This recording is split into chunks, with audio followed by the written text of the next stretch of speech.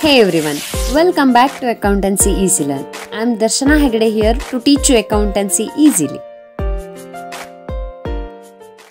Hello students ಇವತ್ತು ನಾನು second P U C accountancy mid term ಎಕ್ಸಾಮಿನ ಪ್ಯಾಟರ್ನನ್ನು ತೊಗೊಂಡು ಬಂದಿದ್ದೀನಿ ಅಂದರೆ ನಾನಿಲ್ಲಿ ಇವತ್ತು ನಿಮಗೆ ಯಾವೆಲ್ಲ ರೀತಿಯಲ್ಲಿ ಕ್ವಶನ್ಗಳನ್ನು ಕೇಳ್ತಾರೆ ಹಾಗೆಯೇ ಯಾವೆಲ್ಲ ಚಾಪ್ಟರ್ನ ಯಾವ ಯಾವ ರೀತಿಯ ಕ್ವಶನ್ಗಳು ಇಂಪಾರ್ಟೆಂಟ್ ಇವೆ ಯಾವ ಸೆಕ್ಷನ್ಗೆ ಯಾವ ಕ್ವಶನ್ಗಳು ಇಂಪಾರ್ಟೆಂಟ್ ಇವೆ ಇವುಗಳನ್ನು ಹೇಳೋದಕ್ಕೆ ಬಂದಿದ್ದೀನಿ ಮೇಡಮ್, ನೀವು ಸೆಕೆಂಡ್ ಪಿ ಯು ಸಿ ಮೇಲೆ ವಿಡಿಯೋಸನ್ನು ಅಪ್ಲೋಡ್ ಮಾಡ್ತಾನೆ ಇಲ್ವಲ್ಲ ಅನ್ನೋದು ಬಹಳಷ್ಟು ಜನರ ಕಂಪ್ಲೇಂಟ್ ಬಟ್ ಸ್ಟೂಡೆಂಟ್ಸ್ ನಾನು already second P U C almost all ಟಾಪಿಕನ್ನು finish ಮಾಡಿದ್ದೀನಿ ಆ್ಯಂಡ್ ಅದೆಲ್ಲ ಕೂಡ ಈ ವರ್ಷದ ಸಿಲೆಬಸ್ಗೆ ಕೂಡ ಅಪ್ಲೈ ಆಗುವಂಥದ್ದೇ. ಅಂದರೆ ನಮ್ಮ ಅಕೌಂಟೆನ್ಸಿಲಿ ವರ್ಷದಿಂದ ವರ್ಷಕ್ಕೆ ಸಿಲೆಬಸ್ ಚೇಂಜ್ ಆಗೋದಿಲ್ಲ. ಸೇಮ್ ಬ್ಲೂ ಪ್ರಿಂಟ್ ಮತ್ತು ಪ್ಯಾಟರ್ನ್ ಅಪ್ಲೈ ಆಗೋದ್ರಿಂದ ನೀವು ಆಲ್ರೆಡಿ ಅಪ್ಲೋಡ್ ಆಗಿರುವಂಥ ಎಲ್ಲ ವಿಡಿಯೋಸ್ಗಳನ್ನು ಖಂಡಿತ ರೆಫರ್ ಮಾಡ್ಬೋದು. ನೀವು ಇಲ್ಲಿ ಕೆಳಗಡೆ ಕಾಣ್ತಾ ಇರೋ ಚಾನಲ್ನ ನೇಮನ್ನು ಕ್ಲಿಕ್ ಮಾಡಿ ಚಾನಲನ್ನು ವಿಸಿಟ್ ಮಾಡಿದರೆ ಅಲ್ಲಿ ನಿಮಗೆ ಪ್ಲೇಲಿಸ್ಟ್ ಸೆಕ್ಷನ್ ಅಂಡರಲ್ಲಿ ಎಲ್ಲ ರೀತಿಯ ಚಾಪ್ಟರ್ ವೈಸ್ ಮತ್ತು ಸೆಕ್ಷನ್ ವೈಸ್ ಪ್ಲೇಲಿಸ್ಟ್ಗಳು ಸಿಗತ್ವೆ. ಅದರಿಂದ ನಿಮಗೆ ಇನ್ನಷ್ಟು ಹೆಲ್ಪ್ ಆಗಬಹುದು. ನಿಮಗೆಲ್ಲ ಮಿಡ್ ಟರ್ಮ್ ಎಕ್ಸಾಮ್ ಇನ್ನೇನು ಸ್ಟಾರ್ಟ್ ಆಗ್ತಾ ಇದೆ. ಮಿಡ್ ಟರ್ಮ್ ಎಕ್ಸಾಮಿನೇಷನ್ ಯಾವಾಗಲೂ ಸ್ಟೇಟ್ ಲೆವೆಲಲ್ಲಿ ನಡೆಯೋದಿಲ್ಲ. ಆಲ್ಮೋಸ್ಟ್ ಡಿಸ್ಟ್ರಿಕ್ಟ್ ಲೆವೆಲ್ಗಳಲ್ಲಿ ಇದನ್ನು ನಡೆಸ್ತಾರೆ. ಪ್ರತಿಯೊಂದು ಡಿಸ್ಟ್ರಿಕ್ಟ್ಗಳಲ್ಲಿ ಬೇರೆ ಬೇರೆ ಥರದ ಕ್ವಶನ್ ಪೇಪರ್ಗಳು ಬೇರೆ ಬೇರೆ ಥರದ ಟೈಮ್ ಟೇಬಲ್ಗಳು ಇರುತ್ತವೆ ಹಾಗಾಗಿ ನಾವು ಆ್ಯಸ್ ಎ ಹೋಲ್ ಇದನ್ನು ಹೇಳೋದಿಕ್ಕಾಗಲ್ಲ. ಅಂದರೆ ಕೆಲವೊಂದು ಡಿಸ್ಟ್ರಿಕ್ಟ್ಗಳಲ್ಲಿ ಅವರು ಮಾಡ್ತಾ ಇರುವಂಥ ಡೇಟ್ಗಳಿಗೆ ಪ್ರಕಾರವಾಗಿ ಸಿಲೆಬಸ್ಗಳು ಕೂಡ ಚೇಂಜಸ್ ಇರುತ್ತೆ. ಸೊ ಈಗ ನಾನೊಂದು ಜನರಲ್ ಆಗಿ ಇಷ್ಟು ಸಿಲೆಬಸ್ ಇರುತ್ತೆ ಅಂತ ಹೇಳಿ ಹೇಳಿದರೆ ತಪ್ಪಾಗುತ್ತೆ. ಸೊ ನಿಮ್ಮ ನಿಮ್ಮ ಡಿಸ್ಟ್ರಿಕ್ಟ್ಗಳಲ್ಲಿ ಬೇರೆ ಬೇರೆ ಥರದ ಸಿಲೆಬಸ್ಗಳು ಇರ್ಬೋದು. ಅಂದರೆ ಆಲ್ಮೋಸ್ಟ್ ಇದೇ ಇರುತ್ತೆ ಬಟ್ ಒನ್ ಚಾಪ್ಟರ್ ಎರಡು ಚಾಪ್ಟರ್ ಹೀಗೆ ಕಡಿಮೆ ಇರ್ಬೋದು. ಅಥವಾ ಬೇರೆ ಒಂದು ಚಾಪ್ಟರನ್ನು ಕೊಟ್ಟು ಒಂದು ಚಾಪ್ಟರ್ನ ತೆಗೆದಿರ್ಬೋದು. ಈ ರೀತಿಯಾಗಿ ಇರುತ್ತೆ. ಸೊ ಅವರವರ ಅನುಕೂಲಕ್ಕೆ, ಅಂದರೆ ಅವರವರ ಆ ಡಿಸ್ಟ್ರಿಕ್ಟ್ಗಳ ಅನುಕೂಲಕ್ಕೆ ತಕ್ಕಂತೆ ಆ ಒಂದು ಎಕ್ಸಾಮ್ಗಳನ್ನು ನಡೆಸೋದ್ರಿಂದ, ಇಲ್ಲಿ ನಾನು ಆ್ಯಸ್ ಎ ಹೋಲ್ ಹೇಳ್ತಾ ಇಲ್ಲ. ಅಥವಾ ಇದೇ ಬೀಳುತ್ತೆ ಅಂತ ಫಿಕ್ಸ್ ಆಗಿ ಹೇಳ್ತಾ ಇಲ್ಲ. ಬಟ್ ನಾನಿಲ್ಲಿ ತಂದಿರುವಂಥ ಪ್ಯಾಟರ್ನ್ ಏನಿದೆ ಸೊ ಇದೆಲ್ಲ ಕ್ವಶನ್ಗಳು ಈ ಎಲ್ಲ ಚಾಪ್ಟರ್ಗಳಿಂದ ನಾನು ಈ ಇಂಪಾರ್ಟೆಂಟ್ ಕ್ವಶನ್ಗಳನ್ನು ಏನು ತಗೊಂಡು ಬಂದಿದ್ದೀನಿ. ಇದು ಖಂಡಿತ ಕೇಳ್ತಾರೆ. ಅಂದರೆ ಇದಿಷ್ಟು ಕ್ವಶನ್ಗಳು ಇಂಪಾರ್ಟೆಂಟ್ ಇರುವಂಥ ಕ್ವಶನ್ಗಳು ಆ್ಯಂಡ್ ನಾನಿಲ್ಲಿ ಹೇಳ್ತಾ ಇರುವಂಥದ್ದು ಕಾರವಾರ ಡಿಸ್ಟ್ರಿಕ್ಟ್ ಅಂದರೆ ಉತ್ತರ ಕನ್ನಡ ಡಿಸ್ಟ್ರಿಕ್ಟಿನ ಒಂದು ಸಿಲೆಬಸ್ ಮತ್ತು ಅಲ್ಲಿಯ ಪ್ಯಾಟರ್ನನ್ನು ಹೇಳ್ತಾ ಇದ್ದೀನಿ. ಬಟ್ ಪ್ಯಾಟರ್ನ್ಗಳು ಎಲ್ಲ ಕಡೆ ಸೇಮ್ ಇರುತ್ತೆ, ಇದೇ ಪ್ಯಾಟರ್ನಲ್ಲಿ ಕ್ವಶನ್ಗಳನ್ನು ಕೇಳ್ತಾರೆ. ಆ್ಯಂಡ್ ಉತ್ತರ ಕನ್ನಡ ಡಿಸ್ಟ್ರಿಕ್ಟಲ್ಲಿ ಅಕ್ಟೋಬರ್ ಸೆಕೆಂಡ್ ವೀಕ್ ಹೀಗೆ ಎಕ್ಸಾಮ್ಗಳು ಸ್ಟಾರ್ಟ್ ಆಗೋದ್ರಿಂದ ಸ್ವಲ್ಪ ಜಾಸ್ತಿ ಸಿಲೆಬಸ್ ಇದೆ. ಇನ್ ಕೇಸ್ ನಿಮಗೆ ಸೆಪ್ಟೆಂಬರಲ್ಲಿನೇ ಎಕ್ಸಾಮ್ ನಡೀತಾ ಇದೆ ಅಂತಂದರೆ ಈ ಸಿಲೆಬಸ್ಗಳಲ್ಲಿ ಸ್ವಲ್ಪ ರಿಡಕ್ಷನ್ ಇರ್ಬೋದು. ಇಷ್ಟೊಂದು ಸಿಲೆಬಸ್ಸನ್ನು ಕೊಟ್ಟಿಲ್ಲದೆ ಇರ್ಬೋದು. ಹಾಗಾಗಿ ನಿಮ್ಮ ಡಿಸ್ಟ್ರಿಕ್ಟ್ ಯಾವುದು, ಹಾಗೆ ನಿಮಗೆ ಇರುವಂಥ ಸಿಲೆಬಸ್ ಯಾವುದು, ಹಾಗೆ ನಿಮಗೆ ಯಾವಾಗಿಂದ ಎಕ್ಸಾಮ್ ಸ್ಟಾರ್ಟ್ ಆಗುತ್ತೆ ಅಂತ ಹೇಳಿ ನಮಗೆ ಕಮೆಂಟ್ ಬಾಕ್ಸಲ್ಲಿ ಕಮೆಂಟ್ ಮಾಡಿ ತಿಳಿಸಿ. ಸೊ ತಡ ಮಾಡ್ದೇ ಇವತ್ತಿನ ಸೆಷನನ್ನು ಸ್ಟಾರ್ಟ್ ಮಾಡೋಣ. ನೋಡಿ ಮೊದಲಿಗೆ ನಾವಿಲ್ಲಿ ಪ್ಯಾಟರ್ನ್ ಹೇಗಿರುತ್ತೆ ಅಂತ ಹೇಳಿ ನೋಡೋಣ.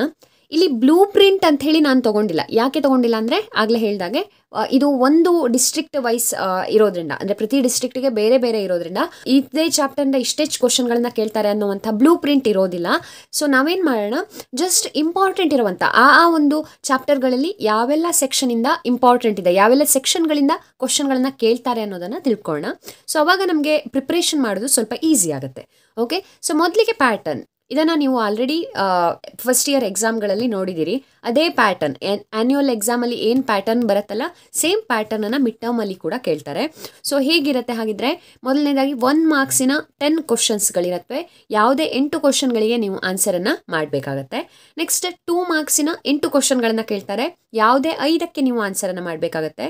ಹಾಗೆ ಸಿಕ್ಸ್ ಮಾರ್ಕ್ಸಿನ ಸೆವೆನ್ ಕ್ವಶನ್ಗಳನ್ನ ಕೇಳ್ತಾರೆ. ಯಾವುದೇ ನಾಲ್ಕಕ್ಕೆ ನೀವು ಆನ್ಸರನ್ನು ಮಾಡಬೇಕು. ಹಾಗೆ ಟ್ವೆಲ್ ಮಾರ್ಕ್ಸಲ್ಲಿ ಕೂಡ ಸೆವೆನ್ ಕ್ವಶನ್ಗಳನ್ನು ಕೇಳ್ತಾರೆ. ಯಾವುದೇ ನಾಲ್ಕಕ್ಕೆ ನೀವು ಆನ್ಸರನ್ನು ಮಾಡಬೇಕು. ಇನ್ನು five marks P O Q ಸೆಕ್ಷನಿಂದ ಮೂರು ಕ್ವಶನ್ಗಳನ್ನು ಕೇಳ್ತಾರೆ. ಯಾವುದೇ ಎರಡಕ್ಕೆ ನೀವು ಆನ್ಸರನ್ನು ಮಾಡಬೇಕು. ಸೊ ನಿಮಗೆ ಹೋದ ವರ್ಷದ ಆ್ಯನ್ಯುವಲ್ ಎಕ್ಸಾಮಲ್ಲಿ ಎಲ್ಲ ಒಂದೊಂದು ಚಾಯ್ಸನ್ನು ಎಕ್ಸ್ಟ್ರಾ ಕೊಟ್ಟಿದ್ರು. ಸೊ ಇಲ್ಲಿ ಟೂ ಮಾರ್ಕ್ಸಲ್ಲಿ ಟೆನ್ ಕ್ವಶನ್ಸ್ ಇದ್ವು. ಹಾಗೆಯೇ ಸಿಕ್ಸ್ ಮಾರ್ಕಲ್ಲಿ ಏಯ್ಟ್ ಕ್ವಶನ್ಗಳನ್ನು ಕೇಳ್ತಿದ್ರು. ಟ್ವೆಲ್ ಮಾರ್ಕ್ಸಲ್ಲಿ ಏಯ್ಟ್ ಕ್ವಶನ್ ಕೇಳ್ತಿದ್ರು. ಫೈವ್ ಮಾರ್ಕ್ಸಲ್ಲಿ ಫೋರ್ ಕ್ವಶನ್ಸ್ ಕೇಳ್ತಿದ್ರು. ಬಟ್ ಈ ವರ್ಷ ಆ ರೀತಿ ಇರೋದಿಲ್ಲ ಅಂಥೇಳಿ ಆಲ್ರೆಡಿ ಪಿ ಯು ಬೋರ್ಡಿಂದ ನೋಟಿಫಿಕೇಶನ್ ಬಂದಿದೆ. ಸೊ ಈ ವರ್ಷದಿಂದ ಮೊದಲು, ಈ ಮೊದಲು ಯಾವ ರೀತಿಯಾಗಿ ಕೇಳ್ತಿದ್ರೋ ಅಂದರೆ ಎಕ್ಸ್ಟ್ರಾ ಚಾಯ್ಸಸ್ಸನ್ನು ಕೊಡ್ದೇನೆ ಈ ಮೊದಲು ಇದ್ದಂಥ ಪ್ಯಾಟರ್ನಲ್ಲಿನೇ ಎಕ್ಸಾಮನ್ನು ಮಾಡ್ತಾರೆ. ಹಾಗಾಗಿ ಈ ಒಂದು ಪ್ಯಾಟರ್ನಲ್ಲಿ ನಿಮಗೆ ಕ್ವಶನ್ಗಳನ್ನು ಕೇಳ್ತಾರೆ. ನಮ್ಮ ಅಕೌಂಟೆನ್ಸಿ ತುಂಬ ಸುಲಭ ಆಗಿರೋದು ಯಾಕಂದರೆ ಬಹಳ ಚಾಯ್ಸಸ್ ಇರೋದ್ರಿಂದ. ಅಂದರೆ ಇಲ್ಲಿ ಸ್ಕೋರಿಂಗ್ ಬಹಳ ಸುಲಭ. ಆದರೆ ನಾವು ಓದ್ತಾ ಇರೋದು ನಾಲೆಜ್ ಪರ್ಪಸ್ಸಿಗೋಸ್ಕರ ಅನ್ನೋದನ್ನು ನೀವು ಮೈಂಡಲ್ಲಿ ಇಟ್ಕೋಬೇಕು. ನಮಗೆ ಸ್ಕೋರ್ ಕೂಡ ಇಂಪಾರ್ಟೆಂಟ್ ಅದೇ ರೀತಿಯಾಗಿ ನಮಗೆ ನಾಲೆಜ್ ಕೂಡ ಇಂಪಾರ್ಟೆಂಟ್ ಸೊ ಎರಡನ್ನೂ ನೀವು ಸರಿದೂಗಿಸ್ಕೊಂಡು ಹೋಗಬೇಕು. ನಮಗೆ ಇದು ಇಂಪಾರ್ಟೆಂಟ್ ಇಲ್ಲ ಎಕ್ಸಾಮಲ್ಲಿ ಕೇಳಲ್ಲ ಅಂಥೇಳಿ ಆ ಟಾಪಿಕನ್ನು ಬಿಡಬಾರ್ದು. ಅಥವಾ ನಾವು ನಾಲೆಜ್ ಪರ್ಪಸ್ಸಿಗೆ ಮಾತ್ರ ಓದ್ತೀವಿ ಅಂಥೇಳಿ ಸ್ಕೋರಿಂಗ್ ಟಾಪಿಕ್ಗಳನ್ನು ಬಿಡಬಾರ್ದು. ಸೊ ನಿಮಗೆ ಎರಡೂ ಬೇಕು ಸ್ಕೋರು ಬೇಕು ನಾಲೆಜ್ ಬೇಕು, ಹಾಗಾಗಿ ಅದನ್ನು ಸಮತೂಗಿಸ್ಕೊಂಡು ನೀವು ಹೋಗಬೇಕು. ಹಾಗಿದ್ರೆ ಈ ಒಂದು ಪ್ಯಾಟರ್ನ್ ಅಲ್ಲಿ ಕ್ವಶನ್ ಕೇಳ್ತಾರೆ ಅಂದಾಗಾಯ್ತು ಈ ಯಾವ ಯಾವ ಚಾಪ್ಟರ್ಗಳನ್ನು ಎಕ್ಸಾಮಲ್ಲಿ ಕೇಳ್ತಾರೆ ಅಂತ ನೋಡೋದಿದ್ರೆ ಒನ್ ಟು ಫಿಫ್ತ್ ಚಾಪ್ಟರ್ ಎಕ್ಸಾಮಲ್ಲಿ ಮಿಡ್ ಟರ್ಮ್ ಎಕ್ಸಾಮಲ್ಲಿ ಸಿಲೆಬಸ್ಗೆ ಇದೆ. ಸೊ ಅದು ಆಗಲೇ ಹೇಳಿದಾಗೆ ಡಿಪೆಂಡಿಂಗ್ ಆನ್ ಯುವರ್ ಡಿಸ್ಟ್ರಿಕ್ಟ್ ನಿಮ್ಮ ಡಿಸ್ಟ್ರಿಕ್ಟ್ ಮೇಲೆ ಡಿಪೆಂಡ್ ಕೆಲವೊಂದು ಡಿಸ್ಟ್ರಿಕ್ಟ್ಗಳಲ್ಲಿ ಬೇಗ ಎಕ್ಸಾಮ್ ನಡೀತಾ ಇದ್ರೆ ಒನ್ ಟು ಫೋರ್ತ್ ಚಾಪ್ಟರ್ ಅಷ್ಟೇ ಇರ್ಬೋದು. ಅಥವಾ ಕೆಲವೊಂದು ಡಿಸ್ಟ್ರಿಕ್ಟ್ಗಳಲ್ಲಿ ಫಸ್ಟ್ ಚಾಪ್ಟರ್ನ ತೆಗೆದು ಸೆಕೆಂಡ್ ಟು ಫಿಫ್ತ್ ಚಾಪ್ಟರ್ನ ಇಟ್ಟಿರ್ಬೋದು. ಸೊ ಅದು ನಿಮ್ಮ ಒಂದು ಡಿಸ್ಟ್ರಿಕ್ಟ್ ಮೇಲೆ ಡಿಪೆಂಡ್ ಆಗಿರೋದ್ರಿಂದ ಅದನ್ನು ಎಲ್ರಿಗೂ ಹೀಗೆ ಬೀಳುತ್ತೆ ಹೇಳಿ ನಾನು ಖಡಾಖಂಡಿತವಾಗಿ ಹೇಳೋದಕ್ಕಾಗಲ್ಲ. So it depends on your district but general ಆಗಿ ಹೇಳಬೇಕು ಅಂದರೆ, ಒಂದರಿಂದ ಐದು ಚಾಪ್ಟರ್ಗಳ ತನಕ ನಿಮಗೆ ಮಿಡ್ ಟರ್ಮಲ್ಲಿ ಕೇಳ್ಬೋದು. ಸೊ ಒಂದರಿಂದ ಐದು ಅಂದರೆ ಯಾವ್ಯಾವುದು ಹಾಗಿದ್ರೆ? ಮೊದಲನೇದು N P O first chapter non profit organisation second chapter partnership basic third chapter admission and fourth chapter retirement and death and then fifth chapter is dissolution so ಐದು ಚಾಪ್ಟರ್ಗಳನ್ನು ನಿಮಗೆ ಎಕ್ಸಾಮಲ್ಲಿ ಕೇಳ್ತಾರೆ. ಸೊ ಆಲ್ಮೋಸ್ಟ್ ಥೇರಿ ಕ್ವಶನ್ಗಳು question ಬ್ಯಾಂಕಲ್ಲಿ ಇರುವಂಥದ್ದೇ ಬರುತ್ತೆ. But question ಬ್ಯಾಂಕಲ್ಲಿ ಎಷ್ಟಿದೆ ಅಂತ ಹೇಳಿ ನೀವು ನೋಡಿದ್ದೀರಿ ಅಂತ ಅನ್ಕೋತೀನಿ. ಯಾಕಂದರೆ ಬಹಳಷ್ಟು ಥೇರಿ ಕ್ವಶನ್ಗಳಿವೆ ಸೊ ಅದೆಲ್ಲದಕ್ಕೂ ನೀವು ಆನ್ಸರನ್ನು ಹುಡ್ಕೊಂಡಿದ್ರೆ ಈ ಒಂದು ಒನ್ ಆ್ಯಂಡ್ ಟೂ ಮಾರ್ಕಿನ ಕ್ವಶನ್ಗಳನ್ನು ಅಟೆಂಡ್ ಮಾಡೋದು ತುಂಬ ಸುಲಭ. ಸೊ ಇಲ್ಲಿ ನಮ್ಮ ಅಕೌಂಟೆನ್ಸಿಲಿ ಥೇರಿ ಪಾರ್ಟ್ ಬಹಳಷ್ಟು ಇಲ್ಲದೆ ಇರೋದ್ರಿಂದ ಅಲ್ಲೆಲ್ಲ ಏನೇನು ಕಲ್ತಿದ್ದೀರಿ? ನೀವು ಪ್ರತಿಯೊಂದು ಚಾಪ್ಟರ್ನ ಸ್ಟಾರ್ಟಿಂಗಲ್ಲಿ ಏನೆಲ್ಲ ಥೇರಿ ಕಲ್ತಿದ್ದೀರಿ? ಮೀನಿಂಗ್ ಇರ್ಬೋದು ಡೆಫಿನೇಷನ್ ಇರ್ಬೋದು ಟೈಪ್ಸ್ ಇರ್ಬೋದು ಕ್ಯಾರೆಕ್ಟರಿಸ್ಟಿಕ್ಸ್ ಇರ್ಬೋದು ಅಡ್ವಾಂಟೇಜಸ್ ಡಿಸ್ಅಡ್ವಾಂಟೇಜಸ್ ಇದೆಲ್ಲವನ್ನು ನಮಗೆ ಒನ್ ಆ್ಯಂಡ್ ಟೂ ಮಾರ್ಕ್ಸಲ್ಲಿ ಕೇಳ್ತಾರೆ. ಸೊ ಅದನ್ನು ನೀವು ಒನ್ ಟು ಫಿಫ್ತ್ ಚಾಪ್ಟರ್ ತನಕ ಎಲ್ಲದನ್ನು ನೋಡಿಕೊಂಡ್ರೆ ಅಥವಾ ನಿಮ್ಮ ಸಿಲೆಬಸ್ಗೆ ಯಾವ ಚಾಪ್ಟರ್ಗಳಿವೆ ಅವೆಲ್ಲಗಳನ್ನ ನೋಡಿಕೊಂಡ್ರೆ ಈಸಿಯಾಗಿ ಸ್ಕೋರ್ ಮಾಡ್ಬೋದು. ಓಕೆ ಇನ್ನು ಸಿಕ್ಸ್ ಮಾರ್ಕ್ ಕ್ವಶನ್ಗೆ ಬಂದರೆ ಸಿಕ್ಸ್ ಮಾರ್ಕಿನ ಸೆಕ್ಷನ್ಗೆ ಬಂದರೆ, ಇಲ್ಲಿ ಎಲ್ಲ ಚಾಪ್ಟರಿಂದ ಸಿಕ್ಸ್ ಮಾರ್ಕ್ ಕ್ವಶನ್ಗಳನ್ನ ಕೇಳೋದಿಲ್ಲ ನಿಮಗೆ. Only from partnership basics okay partnership basics second ಚಾಪ್ಟರಿಂದ next admission ಮತ್ತು ರಿಟೈರ್ಮೆಂಟಿಂದ ಹಾಗೆ ಡೆತ್ ಆಫ್ ಪಾರ್ಟ್ನರ್ ಅಂದರೆ ರಿಟೈರ್ಮೆಂಟಲ್ಲೇ ಒಂದು ಪಾರ್ಟ್ ಡೆತ್ ಆಫ್ ಪಾರ್ಟ್ನರ್ ಅಲ್ವಾ? ಸೊ ಈ ಒಂದು ಟಾಪಿಕಿಂದನೂ ಕೂಡ ಸಿಕ್ಸ್ ಮಾರ್ಕಿಗೆ ಕೇಳ್ತಾರೆ. ಇದನ್ನು ಬಿಟ್ಟು ಎನ್ ಪಿ ಒದಲ್ಲಾಗಲಿ ಅಥವಾ ಡಿಸಲ್ಯೂಷನ್ ಚಾಪ್ಟರಲ್ಲಾಗಲಿ ಸಿಕ್ಸ್ ಮಾರ್ಕ್ ಕ್ವಶನ್ಗಳು ಯಾವುದೇ ಕೇಳೋದಿಲ್ಲ. ಸೊ ನಿಮಗೆ ಫೈನಲ್ ಎಕ್ಸಾಮಿನ ಪ್ಯಾಟರ್ನಲ್ಲಿನೇ ಮಿಡ್ ಟರ್ಮ್ ಕೂಡ ಕೇಳೋದ್ರಿಂದ ಆ ಎರಡು ಚಾಪ್ಟರ್ಗಳಲ್ಲಿ ಯಾವುದೇ ಸಿಕ್ಸ್ ಮಾರ್ಕ್ ಕ್ವಶನ್ಗಳು ಇಲ್ಲ ಸಿಲೆಬಸ್ಗೆ ಅದಕ್ಕೋಸ್ಕರ ಇದು ಮೂರು ಚಾಪ್ಟರ್ಗಳಿಂದ ನೀವು ನೋಡಿಕೊಂಡ್ರೆ ಸಾಕಾಗುತ್ತೆ. ಇನ್ನು ಟ್ವೆಲ್ ಮಾರ್ಕ್ಸಿಗೆ ಎನ್ ಪಿ ಒ ಚಾಪ್ಟರಿಂದ ಕ್ವಶನ್ಗಳನ್ನ ಕೇಳ್ತಾರೆ ಅಡ್ಮಿಷನಿಂದ ಕೇಳ್ತಾರೆ ರಿಟೈರ್ಮೆಂಟಿಂದ ಕೇಳ್ತಾರೆ, ಹಾಗೆ ಡಿಸೊಲ್ಯೂಷನಿಂದ ಕೇಳ್ತಾರೆ. ಸೊ ಇದರಲ್ಲಿ ಯಾವುದರಲ್ಲಿ ಹೆಚ್ಚಿಗೆ ಕ್ವಶನ್ಗಳನ್ನ ಕೇಳ್ತಾರೆ ಅಂತ ಹೇಳಲಿಕ್ಕಾಗಲ್ಲ.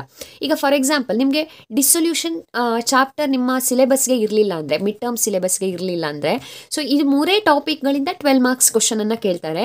ಬಟ್ ಯಾವ ಟಾಪಿಕ್ಕಿಂದ ಬೇಕಿದ್ರೂ ಆ, ಎರಡು ಕ್ವಶನ್ಗಳನ್ನು ಕೇಳ್ಬೋದು. ಅಂದರೆ it depends on your district so ಯಾರು ಪೇಪರ್ ಸೆಟ್ ಮಾಡ್ತಾರೋ ಅವ್ರ ಮೇಲೆ ಡಿಪೆಂಡ್ ಆಗಿರುತ್ತೆ. ಸೊ ಎನ್ ಪಿ ಒದಿಂದ ಎರಡು ಕೇಳ್ಬೋದು. ಅಡ್ಮಿಷನಿಂದ ಎರಡು ಕೇಳ್ಬೋದು. ಅಥವಾ ರಿಟೈರ್ಮೆಂಟಿಂದ ಎರಡು ಕೇಳ್ಬೋದು. ಯಾವುದರಿಂದ ಜಾಸ್ತಿ ಕೇಳ್ತಾರೆ ಅಂತ ವಿ ಕಂಟ್ ಪ್ರೆಡಿಕ್ಟ್ ನಾವು ಪ್ರೆಡಿಕ್ಟ್ ಮಾಡ್ಲಿಕ್ಕೆ ಆಗಲ್ಲ ನಿಮಗೆ ಇದೆಲ್ಲ ಚಾಪ್ಟರ್ಗಳು ಒನ್ ಟು ಫೈವ್ ಚಾಪ್ಟರ್ ಕೂಡ ಸಿಲೆಬಸ್ಗೆ ಇದೆ ಅಂತಂದರೆ ಇದು ನಾಲ್ಕರ ಮೇಲೂ ಒಂದೊಂದು ಕ್ವಶನನ್ನು ಕೇಳ್ತಾರೆ. ಅದರಲ್ಲಿ ಏಳು ಕ್ವಶನ್ ಬೇಕಾಗಿರೋದ್ರಿಂದ ಯಾವುದೇ ಒಂದು ಟಾಪಿಕ್ ಮೇಲೆ ಎಕ್ಸ್ಟ್ರಾ ಕ್ವಶನ್ಗಳನ್ನು ಕೇಳ್ಬೋದು. ಸೊ ಇದೇ ನಾಲ್ಕು ಟಾಪಿಕ್ಗಳಿಂದನೇ ಬರುತ್ತೆ, ಮತ್ತು ಯಾವುದೇ ಟಾಪಿಕ್ಗಳಿಂದ ಟ್ವೆಲ್ ಮಾರ್ಕ್ಸ್ ಬರೋದಿಲ್ಲ.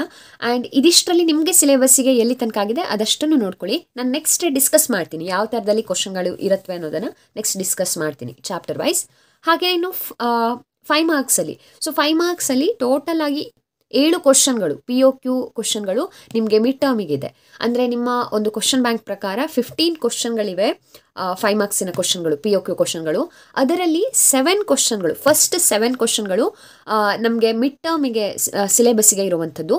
ಸೊ ಅಪ್ ಟು ಡಿಸೊಲ್ಯೂಷನ್ ಏನಿದೆ, ಅದರಲ್ಲಿ ಸೆವೆನ್ ಕ್ವಶನ್ಗಳು ಇನ್ಕ್ಲೂಡ್ ಆಗಿವೆ ಓಕೆ ಸೊ ಈ ಏಳು ಕ್ವಶನ್ಗಳು ಯಾವ್ಯಾವುದು ಅಂತ ಹೇಳಿ ನಾನು ನೆಕ್ಸ್ಟ್ ಹೇಳ್ತಾ ಹೋಗ್ತೀನಿ. ಇದು ಏಳು ಕ್ವಶನ್ಗಳು ಫಿಕ್ಸ್ಡ್ ಕ್ವಶನ್ಗಳು ಕರೆಕ್ಟಾಗಿ ನೀವು ಇದಕ್ಕೆ ಆನ್ಸರ್ಗಳನ್ನು ಹುಡುಕೊಂಡ್ರೆ ಈಸಿಯಾಗಿ ಸ್ಕೋರ್ ಮಾಡ್ಬೋದು. ಆ್ಯಂಡ್ ಇನ್ನೊಂದು ಪಾಯಿಂಟನ್ನು ನೀವು ಗಮನಿಸಬೇಕು. ನಮ್ಮ ಅಕೌಂಟೆನ್ಸಿಲಿ ಒನ್ ಇಯರಿಂದ ಒನ್ ಇಯರ್ಗೆ ಸಿಲೆಬಸ್ ಆಗಲಿ ಬ್ಲೂ ಪ್ರಿಂಟ್ ಆಗಲಿ, ಏನು ಚೇಂಜಸ್ ಆಗೋದಿಲ್ಲ. ಹಾಗಾಗಿ ನಾನು ಆಲ್ರೆಡಿ ಈ ಎಲ್ಲ ಚಾಪ್ಟರ್ಗಳ ಮೇಲೆ ವಿಡಿಯೋಸ್ಗಳನ್ನು ಅಪ್ಲೋಡ್ ಮಾಡಿದ್ದೀನಿ. ಅದು ಹೋದ ವರ್ಷದ ಟಾಪಿಕ್ಗಳು ಖಂಡಿತ ಅಲ್ಲ. ಸೊ ಈ ವರ್ಷಕ್ಕೂ ಕೂಡ ಅಪ್ಲೈ ಆಗುವಂಥದ್ದೇ. ಅದೆಲ್ಲ ಇಂಪಾರ್ಟೆಂಟ್ ಅಂತ ಹೇಳಿ ನಾನೇನು ಡಿಸ್ಕಸ್ ಮಾಡಿದ್ದೀನಿ. ಅದೆಲ್ಲ ಕೂಡ ಈ ವರ್ಷಕ್ಕೆ ಕೂಡ ಇಂಪಾರ್ಟೆಂಟ್ ಇರುವಂಥದ್ದೇ. ಹಾಗಾಗಿ ನೀವು ಯಾವುದೇ ಡೌಟ್ ಇಲ್ಲದೇ ಸೊ ಈ ಹಿಂದೆ ಅಪ್ಲೋಡ್ ಆಗಿರುವಂಥ, ಇದೆಲ್ಲ ಟಾಪಿಕ್ಗಳ ಮೇಲೆ ಅಪ್ಲೋಡ್ ಆಗಿರುವಂಥ ಇಂಪಾರ್ಟೆಂಟ್ ಕ್ವಶನ್ಗಳನ್ನ ನೋಡ್ಕೊಳ್ಬೋದು. ಸೊ ಅದೇ ಕ್ವಶನ್ಗಳೇ ಈ ಒಂದು ಎಕ್ಸಾಮಿಗೆ ಈ ವರ್ಷದ ಎಕ್ಸಾಮ್ಗಳಿಗೆ ಕೂಡ ಇಂಪಾರ್ಟೆಂಟ್ ಇರುವಂಥದ್ದಾಗಿರುತ್ತೆ ಇದೊಂದು ಪಾಯಿಂಟನ್ನು ನೀವು ಲಕ್ಷ್ಯದಲ್ಲಿಟ್ಕೊಳ್ಳಿ. ಓಕೆ ಇನ್ನು ಚಾಪ್ಟರ್ ವೈಸ್ ಪ್ರತಿಯೊಂದು ಚಾಪ್ಟರ್ ವೈಸ್ ಯಾವ ಯಾವ ಸೆಕ್ಷನಿಂದ ಕ್ವಶನ್ಗಳನ್ನು ಕೇಳ್ತಾರೆ, ಆ ಸೆಕ್ಷನಲ್ಲಿ ಇರುವಂಥ ಇಂಪಾರ್ಟೆಂಟ್ ಟಾಪಿಕ್ಸ್ ಯಾವ್ಯಾವುದು ಅನ್ನೋದನ್ನು ನೋಡ್ತಾ ಹೋಗೋಣ. ಮೊದಲಿಗೆ chapter one N P O ಈ ಒಂದು ಚಾಪ್ಟರ್ ನಿಮ್ಮ ಸಿಲೆಬಸ್ಗೆ ಇದೆ ಅಂತಂದರೆ, ಇದರಿಂದ ಟ್ವೆಲ್ ಮಾರ್ಕ್ಸ್ ಕ್ವಶನ್ ಮತ್ತು ಫೈವ್ ಮಾರ್ಕ್ಸ್ ಅಂದರೆ ಪಿ ಒ ಕ್ಯೂ ಸೆಕ್ಷನ್ನಿನ ಕ್ವಶನ್ಗಳನ್ನು ಕೇಳ್ತಾರೆ. ಸೊ ಅದರಲ್ಲಿ ಟ್ವೆಲ್ ಮಾರ್ಕ್ಸ್ ಕ್ವಶನ್ ಯಾವ ಯಾವುದು ಇಂಪಾರ್ಟೆಂಟ್ ಇದೆ? ಮೊದಲನೇದು preparation of income and expenditure account and closing balance sheet when receipt and payment account and opening balance sheet are given so ಇಲ್ಲಿ income and expenditure account closing balance ಶೀಟನ್ನು ನೀವು prepare ಮಾಡಬೇಕು. And ನಿಮಗೆ ಏನು ಕೊಟ್ಟಿರ್ತಾರೆ? Receipt and payment account ಮತ್ತು opening balance ಶೀಟನ್ನು ಕೊಟ್ಟಿರ್ತಾರೆ. So ಈ ಥರದ ಒಂದು ಪ್ರಾಬ್ಲಮನ್ನು ಅವರು ಕೇಳ್ಬೋದು. ಹಾಗೆಯೇ ಇನ್ನೊಂದು ಥರದ ಪ್ರಾಬ್ಲಮ್ ಅಂದರೆ preparation of opening balance sheet income and expenditure account and closing balance sheet when only receipt and payment account is given ಅಂದರೆ ರಿಸಿಟ್ ಆ್ಯಂಡ್ ಪೇಮೆಂಟ್ ಅಕೌಂಟ್ ಮಾತ್ರ ನಿಮಗೆ ಕ್ವಶನಲ್ಲಿ ಕೊಟ್ಟಿರ್ತಾರೆ. ನೀವು ಉಳಿದ ಎಲ್ಲ ಅಕೌಂಟ್ಗಳನ್ನು ಪ್ರಿಪೇರ್ ಮಾಡಬೇಕು. ಅಂದರೆ opening balance sheet closing balance sheet as well as income and expenditure account. ಇದು ಮೂರನ್ನು ನೀವೇ ಪ್ರಿಪೇರ್ ಮಾಡಬೇಕು. ಈ ಥರದ ಒಂದು ಪ್ರಾಬ್ಲಮನ್ನು ಕೇಳ್ತಾರೆ. ಯೂಶ್ವಲಿ ಮಿಡ್ ಟರ್ಮ್ಗೆ ಕಡಿಮೆ ಸಿಲೆಬಸ್ ಇರೋದ್ರಿಂದ ಎನ್ ಪಿ ಒ ಚಾಪ್ಟರ್ನ ಕಂಪಲ್ಸರಿ ಟೂ ಕ್ವಶನ್ಸನ್ನು ಕೇಳಿರ್ತಾರೆ. ಒಂದು ಈ ಥರದ ಪ್ರಾಬ್ಲಮ್ ಇನ್ನೊಂದು ಈ ಥರದ ಪ್ರಾಬ್ಲಮ್ ಯೂಶ್ವಲಿ ಕೇಳಿರ್ತಾರೆ. ಬಟ್ ನಿಮ್ಮ ಡಿಸ್ಟ್ರಿಕ್ಟಲ್ಲಿ ಪೇಪರ್ ಸೆಟ್ ಮಾಡೋರು ಹೇಗಿದ್ದಾರೆ ಅನ್ನೋದ್ರ ಮೇಲೆ ಯಾವ ರೀತಿಯ ಕ್ವಶನ್ಗಳನ್ನ ಕೇಳ್ತಾರೆ? ಅಥವಾ ಅದ್ರ ಮೇಲೆ ಇನ್ನೂ ಜಾಸ್ತಿ ಕ್ವಶನ್ ಕೇಳ್ತಾರಾ ಅನ್ನೋದು ಡಿಪೆಂಡ್ ಆಗಿರುತ್ತೆ. ಓಕೆ ಇನ್ನು ನೆಕ್ಸ್ಟ್ ಫೈವ್ ಮಾರ್ಕ್ಸಿನ ಪಿ ಒ ಕ್ಯೂ ಸೆಕ್ಷನ್ಗೆ ಈ ಒಂದು ಚಾಪ್ಟರಲ್ಲಿ ಇರುವಂಥ ಕ್ವಶನ್ಗಳು ಯಾವ್ಯಾವುದು ಅಂತ ನೋಡೋದಿದ್ರೆ, ಮೊದಲನೇದು classify the following items into capital and revenue items ಈ ಒಂದು ಕ್ವಶನನ್ನು ಕೇಳ್ತಾರೆ. And secondly prepare receipt and payment account of N P O with five imaginary figures ಈ ಒಂದು ಕ್ವಶನ್ ಕೇಳ್ಬೋದು. ಪಿ ಒ ಕ್ಯೂ ಸೆಕ್ಷನಲ್ಲಿ ಇದೆರಡು ಕ್ವಶನ್ಗಳು ನಿಮ್ಮ ಸಿಲೆಬಸ್ಗೆ ಇದೆ. ಸೊ ಇದ್ರ ಮೇಲೆ ನಾನು ಆಲ್ರೆಡಿ ವಿಡಿಯೋಸ್ಗಳನ್ನು ಮಾಡಿದ್ದೀನಿ. ಅದರ ಎಲ್ಲದರ ಲಿಂಕನ್ನು ನಾನು ಇಲ್ಲೇ ಡಿಸ್ಕ್ರಿಪ್ಷನ್ ಬಾಕ್ಸಲ್ಲಿ ಕೊಡ್ತಾ ಇದ್ದೀನಿ. ನೀವು ಟೈಟಲ್ ಪಕ್ಕ ಇರೋವಂಥ ಡೌನ್ ಬಟನನ್ನು ಪ್ರೆಸ್ ಮಾಡಿ, ಆ ಡಿಸ್ಕ್ರಿಪ್ಷನ್ ಬಾಕ್ಸನ್ನು ನೋಡಿದರೆ ಇದೆಲ್ಲ ವೀಡಿಯೋಸ್ಗಳ ಲಿಂಕ್ಗಳು ಕೂಡ ನಿಮಗೆ ಸಿಗತ್ವೆ. ಹಾಗೆ ನಾನು ಮಿಡ್ ಟರ್ಮ್ ಪ್ಲೇಲಿಸ್ಟನ್ನು ಒಂದು ಮಾಡಿದ್ದೀನಿ. ಅದರ ಲಿಂಕನ್ನು ಕೂಡ ನಿಮಗೆ ಐ ಬಟನಲ್ಲಿ ಕೊಡ್ತಾ ಇದ್ದೀನಿ. ಅದರಲ್ಲಿ ನಿಮ್ಮ ಸಿಲೆಬಸ್ಗೆ ಯಾವ್ಯಾವ ಚಾಪ್ಟರ್ಗಳಿವೆಯೋ ಆ ಇಂಪಾರ್ಟೆಂಟ್ ಚಾಪ್ಟರ್ಗಳನ್ನು ನೀವು ಅದರಲ್ಲಿ ಸೆಲೆಕ್ಟ್ ಮಾಡಿಕೊಂಡು ನೋಡ್ಕೊಳ್ಳಿ ಓಕೆ ಇನ್ನು secondly chapter number two partnership basic concept second ಚಾಪ್ಟರಿಂದ ನಿಮಗೆ ಸಿಕ್ಸ್ ಮಾರ್ಕ್ ಕ್ವಶನ್ ಮತ್ತು ಫೈವ್ ಮಾರ್ಕ್ಸ್ ಕ್ವಶನ್ಗಳನ್ನು ಕೇಳ್ತಾರೆ ಎಕ್ಸಾಮಲ್ಲಿ ಸೊ ಹಾಗಿದ್ರೆ ಸಿಕ್ಸ್ ಮಾರ್ಕಿಗೆ ಇಂಪಾರ್ಟೆಂಟ್ ಇರುವಂತಹ ಕ್ವಶನ್ಗಳು ಯಾವ್ಯಾವುದು ಅಂತ ನೋಡೋಣ. ಸೊ ಸಿಕ್ಸ್ ಮಾರ್ಕಿಗೆ ಇಂಪಾರ್ಟೆಂಟ್ ಇರುವಂಥದ್ದಂದರೆ ಇಲ್ಲಿ ಒಂದು P and L appropriation account preparation ಮಾಡುವಂಥದ್ದು. ಇದ್ರ ಮೇಲೆ ಒಂದು ಕ್ವಶನನ್ನು ಖಂಡಿತ ಗ್ಯಾರಂಟಿ ಕೇಳುವಂಥ ಕ್ವಶನ್ ಇದು. ಸೊ ನಾರ್ಮಲ್ ಪ್ರಾಬ್ಲಮ್ ಕೇಳ್ತಾರೆ. ಅಂದರೆ ಗ್ಯಾರಂಟಿ ಆಫ್ ಪ್ರಾಫಿಟ್ ಕೂಡ ಇದೆ ನಿಮಗೆ. ಸೊ ಅದ್ರ ಜೊತೆಗೆ ನಾರ್ಮಲ್ ಪ್ರಾಬ್ಲಮ್ ಕೂಡ ಕೇಳ್ತಾರೆ. ಹಾಗಾಗಿ P and L appropriation account ಮೇಲೆ ಒಂದು ಕ್ವಶನ್ ಖಂಡಿತ ಇರುತ್ತೆ.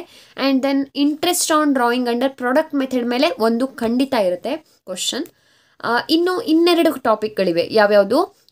L appropriation account with guarantee of profit and calculation of interest on drawing under average period method ಇದೆರಡೂ ಕೂಡ ಇಂಪಾರ್ಟೆಂಟ್ ಇರುವಂಥದ್ದೇ ಇದು ಕೂಡ ಕೇಳೋ ಚಾನ್ಸಸ್ ಇದೆ. ಆಲ್ಮೋಸ್ಟ್ ಈ ಒಂದು ಟಾಪಿಕಲ್ಲಿ ಅಂದರೆ ಸೆಕೆಂಡ್ ಚಾಪ್ಟರಲ್ಲಿ ಆಲ್ಮೋಸ್ಟ್ ತ್ರೀ ಕ್ವಶನ್ಗಳನ್ನು ನಿಮಗೆ ಕೇಳ್ತಾರೆ. ಸೊ ಇದು ನಾಲ್ಕು ಟಾಪಿಕ್ಗಳಲ್ಲಿ ಯಾವುದೇ ಮೂರು ಕ್ವಶನ್ಗಳನ್ನು ಕೇಳ್ಬೋದು. ಓಕೆ ಮೂರೇ ಕೇಳ್ತಾರೆ ಅಂತಲ್ಲ, ಕೆಲವೊಂದು ಡಿಸ್ಟ್ರಿಕ್ಟ್ಗಳಲ್ಲಿ ಸಿಲೆಬಸ್ ಜಾಸ್ತಿ ಕವರ್ ಆಗಿದ್ದಿದ್ರೆ ನಿಮಗೆ ಇದರಲ್ಲಿ ಎರಡೇ ಕ್ವಶನ್ ಕೇಳಿ, ಬೇರೆದರಲ್ಲಿ ಇನ್ನೂ ಜಾಸ್ತಿ ಕ್ವಶನ್ಗಳನ್ನ ಕೇಳ್ಬೋದು. But almost mid term syllabus ಕಡಿಮೆ ಇರೋದ್ರಿಂದ ಆಲ್ಮೋಸ್ಟ್ ಇದರಲ್ಲಿ ತ್ರೀ ಕ್ವಶನ್ಸ್ ಕೇಳುವಂಥ ಚಾನ್ಸಸ್ ಜಾಸ್ತಿ ಇದೆ. ಓಕೆ ಸೊ ಇದು ನಾಲ್ಕು ಟಾಪಿಕ್ಗಳನ್ನು ನೋಡ್ಕೊಳ್ಳಿ. Average period method product method guarantee of profit ಹಾಗೆ P and L appropriation account ಬಹಳ ಈಸಿ ಇರುವಂಥ ಈಸಿಯಾಗಿ ಸಿಕ್ಸ್ ಮಾರ್ಕ್ಸ್ ತೊಗೊಳ್ಬಹುದಾದಂಥ ಟಾಪಿಕ್ಗಳು ಇವು. ಹಾಗಾಗಿ ಇದನ್ನು ಖಂಡಿತವಾಗಿ ನೋಡ್ಕೊಳ್ಳಿ. ಇನ್ನು ನೆಕ್ಸ್ಟ್ ಫೈವ್ ಮಾರ್ಕ್ಸ್ ಕ್ವಶನ್ ಅಂದರೆ ಪಿ ಒ ಕ್ಯೂ ಸೆಕ್ಷನ್ಗೆ ಯಾವ್ಯಾವ ಕ್ವಶನ್ಗಳು ಇಂಪಾರ್ಟೆಂಟ್ ಇವೆ ಅಂತ ನೋಡೋಣ. ಸೊ ಪಿ ಒ ಕ್ಯೂ ಸೆಕ್ಷನಲ್ಲಿ ಈ ಚಾಪ್ಟರಿಂದ ನಾಲ್ಕು ಕ್ವಶನ್ಗಳು ಇಂಪಾರ್ಟೆಂಟ್ ಇವೆ. ಸೊ ಅಲ್ಲಿಗೆ ಈ ಒಂದು ಫಸ್ಟ್ ಚಾಪ್ಟರಲ್ಲಿ ಎರಡು ಕ್ವಶನ್ ಹಾಗೆ ಇಲ್ಲಿ ನಾಲ್ಕು. ಟೋಟಲ್ ಆರು ಕ್ವಶನ್ಗಳಾಗೋದ್ವು ಇನ್ನೊಂದು ಕ್ವಶನ್ ಎಕ್ಸ್ಟ್ರಾ ಇದೆ ಅಷ್ಟೇ ಸೊ ಇದಿಷ್ಟು ಕೂಡ ಬಹಳ ಈಸಿ ಇರುವಂಥ ಕ್ವಶನ್ಗಳು ಇದಕ್ಕೆಲ್ಲ ನಾನು ಆನ್ಸರನ್ನು ಕೂಡ ಆಲ್ರೆಡಿ ಮಾಡಿದ್ದೀನಿ ಎಲ್ಲ ಪಿ ಒ ಕ್ಯೂ ಕ್ವಶನ್ಗಳಿಗೆ ಸೊ ನೀವು ಅದನ್ನು ನೋಡಿಕೊಂಡ್ರೆ ಈಸಿಯಾಗಿ ಇದರಲ್ಲಿ ಹತ್ತು ಮಾರ್ಕ್ಸ್ಗಳನ್ನು ಹತ್ತು ಅಂಕಗಳನ್ನು ತಗೊಳ್ಬೋದು. ಸೊ ಫೈವ್ ಮಾರ್ಕ್ಸಿನ ಪಿ ಒ ಕ್ಯೂ ಸೆಕ್ಷನಲ್ಲಿ ಮೊದಲನೇದು, ಈ ಚಾಪ್ಟರ್ಲಿ ಕೇಳುವಂಥ ಮೊದಲನೇ question how do you treat the following in the absence of partnership deed ಅಂತ ಕೇಳ್ತಾರೆ. ಸೊ ಅದರಲ್ಲಿ ಐದು ಪಾಯಿಂಟ್ ಇರುತ್ತೆ. Profit sharing ratio interest on capital interest on drawings interest on advances from partners and remuneration to partner ಇದನ್ನು ಹೇಗೆ treat ಮಾಡ್ತೀವಿ ಅಂತೇಳಿ. So ನಾನು ಇದಕ್ಕೆ ಆನ್ಸರ್ ಕೂಡ ಹೇಳ್ಕೊಟ್ಟಿದ್ದೀನಿ ನಿಮಗೆ. Next write two partners capital account under fluctuating capital system with five imaginary figures ಅಂತ ಕೇಳ್ಬೋದು. ಸೊ ಫ್ಲಕ್ಚುಯೇಟಿಂಗ್ ಕ್ಯಾಪಿಟಲ್ ಸಿಸ್ಟಮಿನ ಫಾರ್ಮ್ಯಾಟನ್ನು ಹಾಕಿ ನೀವು ಅಲ್ಲಿ ನಿಮ್ಮದೇ ಒಂದು ಇಮ್ಯಾಜಿನರಿ ಫಿಗರಿಂದ ಕ್ಯಾಪಿಟಲ್ ಅಕೌಂಟನ್ನು ರೆಡಿ ಮಾಡಬೇಕಾಗತ್ತೆ. ಆ್ಯಂಡ್ ಹಾಗೆಯೇ ಟೂ ಪಾರ್ಟ್ನರ್ಸ್ ಕರೆಂಟ್ ಅಕೌಂಟ್ ಕೇಳ್ಬೋದು under fixed capital system with five imaginary figures ಯಾವುದೇ ಐದು ಇಮ್ಯಾಜಿನರಿ ಫಿಗರಿಂದ ನೀವು ಫಿಕ್ಸ್ಡ್ ಕ್ಯಾಪಿಟಲ್ ಸಿಸ್ಟಮಲ್ಲಿ ಕರೆಂಟ್ ಅಕೌಂಟನ್ನು ಪ್ರಿಪೇರ್ ಮಾಡಬೇಕಾಗತ್ತೆ. ಸೊ ನಿಮ್ಮದೇ ಇಮ್ಯಾಜಿನರಿ ಫಿಗರ್ ಆಗಿರುತ್ತೆ. And next write profit and loss appropriation account of the firm with five imaginary figures so ಇಲ್ಲಿ ಕೂಡ ಪಿ ಆ್ಯಂಡ್ ಎಲ್ ಅಪ್ರಾಪ್ರಿಯೇಷನ್ ಅಕೌಂಟನ್ನು ನೀವೇ ಒಂದು ಇಮ್ಯಾಜಿನರಿ ಫಿಗರಿಂದ ಪ್ರಿಪೇರ್ ಮಾಡೋದಿರುತ್ತೆ. ಸೊ ಇದಿಷ್ಟು ಕ್ವಶನ್ಗಳು ಬಹಳ ಈಸಿ ಇವೆ. ಇದನ್ನು ನೀವು ಕರೆಕ್ಟಾಗಿ ನೋಡಿಕೊಂಡ್ರೆ ಇದರಿಂದ ಒಂದು ಕ್ವಶನ್ ಅಂತೂ ಖಂಡಿತವಾಗಿ ಕೇಳ್ತಾರೆ ಎಕ್ಸಾಮಲ್ಲಿ ಸೊ ಈ ಈಸಿ ಇರೋವಂಥ ಟಾಪಿಕ್ಗಳಿಂದನೇ ನೀವು ಫೈವ್ ಮಾರ್ಕ್ಸನ್ನು ಖಂಡಿತವಾಗಿ ಸ್ಕೋರ್ ಮಾಡ್ಬೋದು. ಇನ್ನು next chapter third and fourth chapter ಎರಡು ಸೇರಿಸಿ ತಗೋತಾ ಇದ್ದೀನಿ. ಈ ಒಂದು ಅಡ್ಮಿಷನ್ ಮತ್ತು ರಿಟೈರ್ಮೆಂಟ್ ಸಿಮಿಲರ್ ಪ್ರಾಬ್ಲಮ್ ಆಗಿರೋದ್ರಿಂದ ಎರಡು ಸೇ ಟಾಪಿಕ್ಗಳನ್ನು ಸೇರಿಸಿ ತಗೋತಾ ಇದ್ದೀನಿ. ಇದರಲ್ಲಿ ಸಿಕ್ಸ್ ಮಾರ್ಕ್ಸ್ ಮತ್ತು ಟ್ವೆಲ್ ಮಾರ್ಕ್ಸ್ ಕ್ವಶನ್ಗಳನ್ನು ನಿಮಗೆ ಎಕ್ಸಾಮಲ್ಲಿ ಕೇಳ್ತಾರೆ. ಹಾಗಿದ್ರೆ ಸಿಕ್ಸ್ ಮಾರ್ಕ್ಸಿಗೆ ಇಂಪಾರ್ಟೆಂಟ್ ಇರುವಂಥದ್ದಂದರೆ ರೇಷಿಯೋಸ್ ರೇಷಿಯೋಸ್ ಅಂದರೆ ಸ್ಯಾಕ್ರಿಫೈಸ್ ರೇಷಿಯೋಸ್ ಹಾಗೆ ನ್ಯೂ ಪ್ರಾಫಿಟ್ ಶೇರಿಂಗ್ ರೇಷಿಯೋಸ್ ಹಾಗೆ ಗೇನ್ ರೇಷಿಯೋ ಸೊ ಈ ಮೂರು ರೇಷಿಯೋಗಳನ್ನು ಯಾರು ಯಾವ್ದು ಬೇಕಿದ್ರೂ ಕೇಳ್ಬೋದು. ಅಡ್ಮಿಷನಿಂದ ಬೇಕಿದ್ರೂ ಕೇಳ್ಬೋದು ರಿಟೈರ್ಮೆಂಟಿಂದ ಬೇಕಿದ್ರು ಕೇಳ್ಬೋದು, ಅಥವಾ ಎರಡೂ ಕ್ವಶನ್ಗಳನ್ನು ಕೇಳ್ಬೋದು. ಅಂದರೆ ಒಂದು ಸ್ಯಾಕ್ರಿಫೈಸ್ ರೇಷೋ ಇನ್ನೊಂದು ಗೇನ್ ರೇಷೋ ಕೇಳ್ಬೋದು, ಅಥವಾ ಒಂದು ಗೇನ್ ರೇಷೋ ಇನ್ನೊಂದು ಎನ್ ಪಿ ಎಸ್ ಆರ್ ಕೇಳ್ಬೋದು. ಸೊ ಎನ್ ಪಿ ಎಸ್ ಆರಲ್ಲಿ ಅಡ್ಮಿಷನಿಂದನೂ ಕೇಳ್ಬೋದು, ಅಥವಾ ರಿಟೈರ್ಮೆಂಟಿಂದನೂ ಕೇಳ್ಬೋದು. ಹೀಗೆ ಈ ನಾಲ್ಕು ರೇಷೋಗಳು ಕೂಡ ಇಂಪಾರ್ಟೆಂಟ್ ಇರುವಂಥದ್ದು. ಆ್ಯಂಡ್ ಈಸಿಯಾಗಿ ಕೂಡ ಇದೆ. Gain ratio calculation sacrifice ratio calculation ಬಹಳ ಈಸಿ ಇದೆ. ಸೊ ಇದನ್ನು ನೀವು ಕರೆಕ್ಟಾಗಿ ನೋಡ್ಕೊಳ್ಳಿ. ಸಿಕ್ಸ್ ಮಾರ್ಕ್ಸನ್ನು ತೊಗೊಳ್ಲಿಕ್ಕಾಗುತ್ತೆ ಇನ್ನು ಟ್ವೆಲ್ ಮಾರ್ಕ್ಸಿನ ಕ್ವಶನ್ಗಳಲ್ಲಿ ಬಂದರೆ admission and ರಿಟೈರ್ಮೆಂಟಲ್ಲಿ revaluation account preparation partners capital account preparation ಹಾಗೆ ನ್ಯೂ ಬ್ಯಾಲೆನ್ಸ್ ಶೀಟನ್ನು ಪ್ರಿಪೇರ್ ಮಾಡೋದಿರುತ್ತೆ. ಸೊ ಇದರಲ್ಲಿ ನಿಮಗೆ ಕಂಪಲ್ಸರಿಯಾಗಿ goodwill ಟ್ರೀಟ್ಮೆಂಟನ್ನು as per A S twenty ಸಿಕ್ಸನ್ನೇ ಕೇಳ್ತಾರೆ. ಇನ್ ಕೇಸ್ ನಿಮ್ಮ ಹತ್ರ ಹಳೆಯ ಒಂದು ಕ್ವಶನ್ ಬ್ಯಾಂಕ್ ಇದ್ದಿದ್ರೆ, ಅದರಲ್ಲಿ as per A S twenty six ಪ್ರಕಾರ ಕ್ವಶನ್ಗಳು ಅಪ್ಡೇಟ್ ಆಗಿಲ್ಲ. ಎಕ್ಸಾಮಲ್ಲಿ ಮಾತ್ರ ಗುಡ್ ವಿಲ್ ಟ್ರೀಟ್ಮೆಂಟನ್ನು ಎ ಎಸ್ ಟ್ವೆಂಟಿ ಸಿಕ್ಸ್ ಪ್ರಕಾರನೇ ಕೇಳೋದ್ರಿಂದ ನೀವು ಅದನ್ನು ಸ್ವಲ್ಪ ಪ್ರಾಕ್ಟೀಸ್ ಮಾಡಿದರೆ ಈಸಿಯಾಗಿ ಗೊತ್ತಾಗುತ್ತೆ. ನಾನು ಇದೆಲ್ಲ ಟಾಪಿಕ್ಗಳ ಮೇಲೆ ಆಲ್ರೆಡಿ ಬಹಳಷ್ಟು ಪ್ರಾಬ್ಲಮ್ಗಳನ್ನು ಕ್ವಶನ್ ಬ್ಯಾಂಕಿನ ಪ್ರಾಬ್ಲಮ್ಗಳನ್ನು ಸಾಲ್ವ್ ಮಾಡಿದ್ದೀನಿ. ಅದೆಲ್ಲ ವಿಡಿಯೋಗಳ ಲಿಂಕ್ ಕೂಡ ನಿಮಗೆ ಮಿಡ್ ಟರ್ಮ್ ಪ್ಲೇಲಿಸ್ಟಲ್ಲಿ ಸಿಗುತ್ತೆ ಅವೈಲೇಬಲ್ ಇದೆ. ನೋಡಿಕೊಂಡು ಪ್ರಾಕ್ಟೀಸ್ ಮಾಡಿ ಓಕೆ ಇನ್ನು with or without a capital adjustment ಇಲ್ಲಿ ಕೇಳ್ಬೋದು. ಸೊ ನಿಮಗೆ ಗೊತ್ತಿದೆ ಟ್ವೆಲ್ ಮಾರ್ಕ್ಸಲ್ಲಿ ವಿತ್ ಕ್ಯಾಪಿಟಲ್ ಅಡ್ಜಸ್ಟ್ಮೆಂಟ್ ಅಂತ ಹೇಳಿ ಒಂದು ಪ್ರಾಬ್ಲಮ್ ಬರುತ್ತೆ. And without capital adjustment capital adjustment ಇಲ್ಲದೆ ಇರುವಂಥ ನಾರ್ಮಲ್ ಪ್ರಾಬ್ಲಮ್ ಕೂಡ ಇರುತ್ತೆ. ಅದು ಎರಡೂ ಕೂಡ ಸಿಲೆಬಸ್ಗೆ ಇದೆ. ಎರಡರಿಂದನೂ ಕೂಡ ಕ್ವಶನ್ಗಳನ್ನ ಕೇಳ್ಬೋದು. ಸೊ ಮಿಡ್ ಟರ್ಮ್ ಸಿಲೆಬಸ್ ಕಡಿಮೆ ಇರೋದ್ರಿಂದ ಆಲ್ಮೋಸ್ಟ್ ಈ ಒಂದು ಟಾಪಿಕ್ಗಳಲ್ಲಿನೇ ಅಂದರೆ ಅಡ್ಮಿಷನ್ ಮತ್ತು ರಿಟೈರ್ಮೆಂಟ್ ಮೇಲೆ ಆಲ್ಮೋಸ್ಟ್ ಟೂ ಟು ತ್ರೀ ಕ್ವಶನ್ಗಳನ್ನು ನಿಮಗೆ ಟ್ವೆಲ್ ಮಾರ್ಕ್ಸಲ್ಲಿ ಕೇಳ್ಬೋದು. ಅದರಲ್ಲಿ ಕ್ಯಾಪಿಟಲ್ ಅಡ್ಜಸ್ಟ್ಮೆಂಟ್ ಪ್ರಾಬ್ಲಮ್ ಕೂಡ ಒಂದು ಇನ್ವಾಲ್ವ್ ಆಗಿರುತ್ತೆ. ಈಸಿ ಇದೆ. ಬಹಳ ಹೆದರ್ಕೊಳ್ಳೋ ಅವಶ್ಯಕತೆ ಏನಿಲ್ಲ. ಸೊ ಅದು ಕೂಡ ಈಸಿ ಇರುತ್ತೆ. ನಿಮಗೆ ಈ ಟಾಪಿಕ್ ಈಸಿ ಅನಿಸಿದರೆ ಅದನ್ನು ಪ್ರಾಕ್ಟೀಸ್ ಮಾಡಿಕೊಂಡ್ರೆ ಈಸಿಯಾಗಿ ಟ್ವೆಲ್ ಮಾರ್ಕ್ಸನ್ನು ತೊಗೋಬೋದು. ಇನ್ನು ಇದೇ ಚಾಪ್ಟರ್ನ ಡೆತ್ ಆಫ್ ಪಾರ್ಟ್ನರ್ ಟಾಪಿಕ್ ಮೇಲೆ ಸಿಕ್ಸ್ ಮಾರ್ಕ್ ಕ್ವಶನನ್ನು ಹಾಗೆ ಫೈವ್ ಮಾರ್ಕ್ಸ್ ಕ್ವಶನ್ಗಳನ್ನು ಕೇಳ್ತಾರೆ. ಅಂದರೆ ಪಿ ಓ ಕ್ಯೂ ಕ್ವಶನ್ ಕೂಡ ಇದ್ರ ಮೇಲೆ ಒಂದು ಕೇಳ್ತಾರೆ. ಹಾಗಿದ್ರೆ ಯಾವ್ಯಾವುದು ಅಂತ ನೋಡೋಣ. ಮೊದಲಿಗೆ ಸಿಕ್ಸ್ ಮಾರ್ಕಿಂದ six ಮಾರ್ಕಲ್ಲಿ preparation of deceased partners capital account ಕೇಳ್ಬೋದು, ಅಥವಾ preparation of deceased partners executor ಅಕೌಂಟನ್ನು ಕೇಳ್ಬೋದು. ಸೊ ಇದೆರಡನ್ನ ಕೂಡ ಏನು ಡಿಫ್ರೆನ್ಸ್ ಇದೆ ಇದರಲ್ಲಿ ಅನ್ನೋದನ್ನ ಈಸಿಯಾಗಿ ಎಕ್ಸ್ಪ್ಲೇನ್ ಮಾಡಿದ್ದೀನಿ ಒಂದು ವಿಡಿಯೋದಲ್ಲಿ. ನೀವು ಅದನ್ನು ಇನ್ನೂ ನೋಡಿಲ್ಲ ಅಂತಂದರೆ, ಇದೇ ಒಂದು ಮಿಡ್ ಟರ್ಮ್ ಪ್ಲೇಲಿಸ್ಟಲ್ಲಿ ನಿಮಗೆ ಈ ವಿಡಿಯೋ ಕೂಡ ಸಿಗುತ್ತೆ, ಈ ಟಾಪಿಕ್ ಕೂಡ ಸಿಗುತ್ತೆ. ನೋಡಿಕೊಂಡು ಕಲ್ತ್ಕೊಳ್ಳಿ, ಬಹಳ ಈಸಿ ಇರುವಂಥದ್ದು six mark question okay so ಇದೆರಡರಲ್ಲಿ ಒಂದು ಕೇಳ್ತಾರೆ. ಎರಡೂ ಕೂಡ ಸೇಮ್ ಪ್ಯಾಟರ್ನಲ್ಲಿ ನಾವು ಪ್ರಿಪೇರ್ ಮಾಡೋದ್ರಿಂದ ನಿಮಗೆ ಇದರಲ್ಲಿ ಯಾವುದೇ ಒಂದು ಫಾರ್ಮ್ಯಾಟನ್ನು ಸರಿಯಾಗಿ ನೋಡಿಕೊಂಡ್ರೂ ಕೂಡ ಈಸಿಯಾಗಿ ಎರಡೂ ಥರದ ಪ್ರಾಬ್ಲಮ್ಗಳನ್ನು solve ಮಾಡೋದಕ್ಕಾಗತ್ತೆ. Okay and again death of ಪಾರ್ಟ್ನರಲ್ಲಿ ಕೂಡ ಎ ಎಸ್ ಟ್ವೆಂಟಿ ಸಿಕ್ಸ್ ಪ್ರಕಾರನೇ ಗುಡ್ ವಿಲ್ ಟ್ರೀಟ್ಮೆಂಟನ್ನು ಮಾಡಬೇಕು. ಅದು ಹೇಗೆ ಅನ್ನೋದನ್ನು ನಾನು ಆಲ್ರೆಡಿ ಪ್ರಾಬ್ಲಮ್ ಸಾಲ್ವ್ ಮಾಡಿ ನಿಮಗೆ ಹೇಳ್ಕೊಟ್ಟಿದ್ದೀನಿ. ಅದನ್ನು ನೀವು ಇನ್ನೂ ನೋಡಿಲ್ಲ ಅಂದರೆ ನೋಡ್ಕೊಂಡು ಬಂದು ಕಲ್ತ್ಕೊಳ್ಳಿ. ಇನ್ನು ಫೈವ್ ಮಾರ್ಕ್ಸಿನ ಕ್ವಶನ್ ಇದರಲ್ಲಿ ಕೇಳುವಂಥದ್ದು ಅಂದರೆ, ಒಂದು ಕ್ವಶನ್ ಇದೆ. Prepare executors loan account with imaginary figures showing the repayment in two annual equal installment along with interest. So ಇಲ್ಲಿ ನಾವು ಎಕ್ಸಿಕ್ಯೂಟರ್ ಲೋನ್ ಅಕೌಂಟಿನ ಫಾರ್ಮ್ಯಾಟನ್ನು ಹಾಕಿ, ಅದರಲ್ಲಿ ನಮ್ಮದೇ ಇಮ್ಯಾಜಿನರಿ ಫಿಗರಿಂದ ರಿಪೇಮೆಂಟನ್ನು ಮಾಡುವಂಥ ಒಂದು ಇಫೆಕ್ಟನ್ನು ತೋರಿಸ್ಬೇಕಾಗತ್ತೆ ಸೊ ಆ ಒಂದು ಕ್ವಶನನ್ನು ಆಲ್ರೆಡಿ ನಾನು ಸಾಲ್ವ್ ಮಾಡಿದ್ದೀನಿ. ಪಿ ಒ ಕ್ಯೂ ಆನ್ಸರನ್ನು ಮಾಡುವಾಗ ಇದನ್ನು ಸಾಲ್ವ್ ಮಾಡಿದ್ದೀನಿ. ನೀವು ಆ ವಿಡಿಯೋ ಇನ್ನೂ ನೋಡಿಲ್ಲ ಅಂತಂದರೆ ಈಗಲೇ ಹೋಗಿ ನೋಡಿಕೊಂಡು ಕಲ್ತ್ಕೊಳ್ಳಿ. ಪಿ ಒ ಕ್ಯೂ ಸೆಕ್ಷನಲ್ಲಿ ಇದು ಸೆವೆಂತ್ ಕ್ವಶನ್ ಆಲ್ರೆಡಿ ಇಲ್ಲಿ ಮೇಲ್ಗಡೆಗೆ ನಾನು ಆರು ಕ್ವಶನ್ಗಳನ್ನು ಹೇಳಿದ್ದೆ. ಇದು ಏಳನೇ ಕ್ವಶನ್ ಸೊ ಇದಂತೂ ಕೇಳೋವಂಥ ಚಾನ್ಸಸ್ ಬಹಳ ಇದೆ. ಯಾಕಂದರೆ ಇದು ಬೇರೆ ಒಂದು ಟಾಪಿಕಿಂದ ಕೇಳುವಂಥ ಒಂದೇ ಕ್ವಶನ್ ಇರೋದ್ರಿಂದ ಈ ಕ್ವಶನ್ ಎಕ್ಸಾಮಲ್ಲಿ ಬರುವಂಥ ಚಾನ್ಸಸ್ ಬಹಳ ಇದೆ. ಸೊ ನೋಡಿ ಕಲ್ತ್ಕೊಳ್ಳಿ. ಫಿಕ್ಸ್ಡ್ ಕ್ವಶನ್ ಆಗಿರೋದ್ರಿಂದ ನಿಮಗೆ ಫೈವ್ ಮಾರ್ಕ್ಸ್ ಗ್ಯಾರಂಟಿ ಸಿಗುತ್ತೆ. ಸೊ ಇನ್ನು next topic chapter five dissolution of partnership so ಇದರಲ್ಲಿ ಓನ್ಲಿ ಟ್ವೆಲ್ ಮಾರ್ಕ್ಸ್ ಕ್ವಶನ್ ಮಾತ್ರ ಇಂಪಾರ್ಟೆಂಟ್ ಇದೆ. ಅಂದರೆ ಸಿಕ್ಸ್ ಮಾರ್ಕಿಗಾಗಲಿ ಫೈವ್ ಮಾರ್ಕ್ಸಿಗಾಗಲಿ ಯಾವುದೇ ಕ್ವಶನ್ಗಳನ್ನು ಕೇಳೋದಿಲ್ಲ. ಬಟ್ ಟ್ವೆಲ್ ಮಾರ್ಕ್ಸಿನ ಕ್ವಶನ್ಗಳು ಬಹಳ ಅಂದರೆ ಬಹಳ ಈಸಿ ಇರುತ್ತೆ. ಡಿಸೊಲ್ಯೂಷನ್ ಚಾಪ್ಟರ್ ಈ ಒಂದು ಮಿಡ್ ಟರ್ಮ್ ಸಿಲೆಬಸ್ಸಲ್ಲಿನೇ ಟ್ವೆಲ್ ಮಾರ್ಕ್ಸಿನ ಈಸಿ ಟಾಪಿಕ್ ಇದು.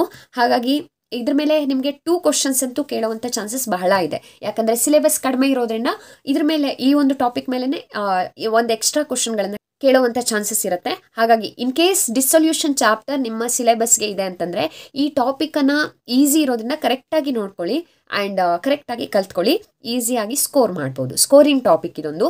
ಸೊ ಇಲ್ಲಿ ಏನು ಕೇಳ್ತಾರೆ ಹಾಗಿದ್ರೆ, ಮೊದಲನೇದು preparation of realisation account partners capital account and cash or bank account so ಇಷ್ಟು ಅಕೌಂಟ್ಗಳನ್ನ ಪ್ರಿಪ್ರೇಷನ್ ಮಾಡೋದಿರುತ್ತೆ ನಿಮಗೆ ಗೊತ್ತಿದೆ. ಆ್ಯಂಡ್ ಅದರಲ್ಲಿ ರಿಯಲೈಸೇಷನ್ ಎಕ್ಸ್ಪೆನ್ಸ್ ಬಗ್ಗೆ ಒಂದು ಅಡ್ಜಸ್ಟ್ಮೆಂಟ್ ಬರುತ್ತೆ. ಅದರಲ್ಲಿ ಎರಡು ಕೇಸ್ಗಳು ನಿಮಗೆ ಸಿಲೆಬಸ್ಗೆ ಇವೆ. ಏನದು? ಒಂದು ಮೊದಲನೇದು realisation expense paid by firm ಈ ಥರದ ಒಂದು ಅಡ್ಜಸ್ಟ್ಮೆಂಟ್ ಕೇಳ್ಬೋದು. ಇಲ್ಲ realisation expenses paid by partner who gets remuneration for it ಈ ಒಂದು ಕೇಸ್ ಕೂಡ ನಿಮಗೆ ಸಿಲೆಬಸ್ಗೆ ಇದೆ. ಇದನ್ನು ಕೂಡ ಕೇಳ್ಬೋದು. ಇದೆಲ್ಲ ಒಂದೊಂದು ಅಡ್ಜಸ್ಟ್ಮೆಂಟ್ ಮಾತ್ರ. ಸೊ ಇದೆರಡು ಕೇಸ್ ಮೇಲೆ ನಿಮಗೆ ಪ್ರಾಬ್ಲಮ್ ಅನ್ನ ಕೇಳ್ಬೋದು. ಹಾಗಾಗಿ ಇದನ್ನು ಕೂಡ ಇದನ್ನ ನೋಡಿರ್ತೀರಿ ನೀವು. ಮೊದಲನೇ ಕೇಸನ್ನ ನಾರ್ಮಲ್ ಎಲ್ಲ ಪ್ರಾಬ್ಲಮ್ಗಳಲ್ಲಿ ಇದೆ. ಬಟ್ ಸೆಕೆಂಡ್ ಕೇಸ್ ಏನಿದೆ, ಇದನ್ನ paid by partner who gets remuneration for it ಈ ಕೇಸನ್ನ ಕರೆಕ್ಟ್ ಆಗಿ ನೋಡ್ಕೊಳ್ಳಿ. ಇದು ಕೂಡ ಬಹಳನೇ ಈಸಿ ಇದೆ. ಕರೆಕ್ಟ್ ಆಗಿ ನೋಡ್ಕೊಂಡ್ರೆ ಟ್ವೆಲ್ ಮಾರ್ಕ್ಸ್ ಅನ್ನ ಈಸಿಯಾಗಿ ಸ್ಕೋರ್ ಮಾಡ್ಬೋದು. ಸೊ ಇದರಲ್ಲಿ ಮತ್ತೆ ಯಾವುದೇ ಸೆಕ್ಷನ್ ಇಂದ ಕ್ವಶನ್ಗಳನ್ನ ಕೇಳೋದಿಲ್ಲ. ಆ್ಯಂಡ್ ನಿಮಗೆ ಈ ಒಂದು ಚಾಪ್ಟರ್ ಸಿಲೆಬಸ್ಗೆ ಇರಲಿಲ್ಲ ಅಂದರೆ, ನಿಮ್ಮ ಡಿಸ್ಟ್ರಿಕ್ಟಲ್ಲಿ ಈ ಚಾಪ್ಟರ್ ಸಿಲೆಬಸ್ಗೆ ಇರಲಿಲ್ಲ ಅಂದರೆ, ಈ ಚಾಪ್ಟರನ್ನು ಬಿಟ್ಟು ಉಳಿದ ಟಾಪಿಕ್ಗಳಲ್ಲಿ ಏನೆಲ್ಲ ಇಂಪಾರ್ಟೆಂಟ್ ಅಂತ ಹೇಳಿದ್ದೀನೋ ಅದೆಲ್ಲವನ್ನು ಸರಿಯಾಗಿ ನೋಡ್ಕೊಳ್ಳಿ. ಓಕೆ ಸೊ ಇದೆಲ್ಲ ಕ್ವಶನ್ಗಳು ಕೂಡ ಇಂಪಾರ್ಟೆಂಟ್ ಇರುವಂಥದ್ದು. ಆ್ಯಂಡ್ ಇದಿಷ್ಟೇ ಕ್ವಶನ್ಗಳನ್ನ ನೀವು ಸರಿಯಾಗಿ ನೋಡಿಕೊಂಡ್ರು ಕೂಡ ಈಸಿಲಿ ಔಟ್ ಆಫ್ ಔಟನ್ನು ನೀವು ಸ್ಕೋರ್ ಮಾಡ್ಬೋದು. ಅಥವಾ, ಇದಿಷ್ಟರಲ್ಲಿ ನಿಮಗೆ ಈಸಿ ಆಗುವಂಥ ಒಂದಷ್ಟು ಕ್ವಶನ್ಗಳನ್ನು ನೋಡಿಕೊಂಡ್ರು ಕೂಡ, ನೀವು ಪಾಸಿಂಗ್ ಮಾರ್ಕ್ಸನ್ನು ಖಂಡಿತವಾಗಿ ಸ್ಕೋರ್ ಮಾಡ್ಬೋದು. ಸೊ ಮಿಡ್ ಟರ್ಮ್ ಅಂತ ಹೇಳಿ ನೆಗ್ಲೆಕ್ಟ್ ಮಾಡಬೇಡಿ ಕರೆಕ್ಟಾಗಿ ಓದ್ಕೊಳ್ಳಿ. ಯಾಕಂದರೆ ಇದರಲ್ಲಿ ನೀವು ಎಷ್ಟು ಚೆನ್ನಾಗಿ ಪ್ರಾಕ್ಟೀಸ್ ಮಾಡ್ತೀರೋ ಅಷ್ಟು ಚೆನ್ನಾಗಿ ನಿಮಗೆ ಆ್ಯನ್ಯುವಲ್ ಎಕ್ಸಾಮಲ್ಲಿ ಸ್ಕೋರ್ ಆಗುತ್ತೆ. ಯಾಕಂದರೆ ಇದರಲ್ಲಿ ಆಲ್ಮೋಸ್ಟ್ ಒಂದು ಅರ್ಧ ಟಾಪಿಕ್ಗಳು ಇನ್ವಾಲ್ವ್ ಆಗಿರುತ್ತಲ್ವಾ ಮಿಡ್ ಟರ್ಮಲ್ಲಿ ಅದೆಲ್ಲವನ್ನು ನೀವು ಸರಿಯಾಗಿ ಓದ್ಕೊಂಡ್ರಿ ಅಂದರೆ ಅದು ನಿಮ್ಮ ಮೈಂಡಲ್ಲಿ ಕರೆಕ್ಟಾಗಿ ಕೂತ್ಕೊಳ್ಳುತ್ತೆ. ನೆಕ್ಸ್ಟ್ ಪ್ರಿಪ್ರೇಷನಿಗೆ ಆ್ಯನ್ಯುವಲ್ ಎಕ್ಸಾಮ್ ಪ್ರಿಪ್ರೇಷನಿಗೆ ಹೆಲ್ಪ್ ಮಾಡುತ್ತೆ. Okay so don't neglect mid term and all the very best for your examination so ನಿಮಗೆ ಎಕ್ಸಾಮ್ ಯಾವಾಗಿಂದ ಸ್ಟಾರ್ಟ್ ಆಗುತ್ತೆ? ಅದಕ್ಕೆ ಸಿಲೆಬಸ್ ಎಷ್ಟಿದೆ? ನಿಮ್ಮ ಡಿಸ್ಟ್ರಿಕ್ಟ್ ಯಾವುದು? ಇದನ್ನು ನನಗೆ ನಿಮ್ಮ ಕಮೆಂಟ್ ಮೂಲಕ ತಿಳಿಸೋದಕ್ಕೆ ಮರೆಯೋದಿಲ್ಲ ಅಲ್ವಾ? ಈ ವಿಡಿಯೋ ನಿಮಗೆ ಇಷ್ಟ ಆಗಿದ್ರೆ ಇದನ್ನು ಲೈಕ್ ಮಾಡಿ, ಹಾಗೆ ಇನ್ನಷ್ಟು ಜನರಿಗೆ, ನಿಮ್ಮ ಫ್ರೆಂಡ್ಸಿಗೆ ಶೇರ್ ಮಾಡಿ. ಸೊ ಇನ್ನೊಬ್ಬರಿಗೆ ಕೂಡ ಇದರಿಂದ ಹೆಲ್ಪ್ ಆಗ್ಬೋದು ಅಲ್ವಾ? ಆ್ಯಂಡ್ ಅಕೌಂಟೆನ್ಸಿನ ತುಂಬ ಈಸಿಯಾಗಿ ಕಲಿಬೇಕು ಅಂದರೆ ನಮ್ಮ ಅಕೌಂಟೆನ್ಸಿ ಈಸಿ ಲರ್ನ್ ಚಾನಲನ್ನು ಸಬ್ಸ್ಕ್ರೈಬ್ ಮಾಡ್ಕೊಳ್ಳಿ. I will be back with another video very soon. Until then, enjoy the learning.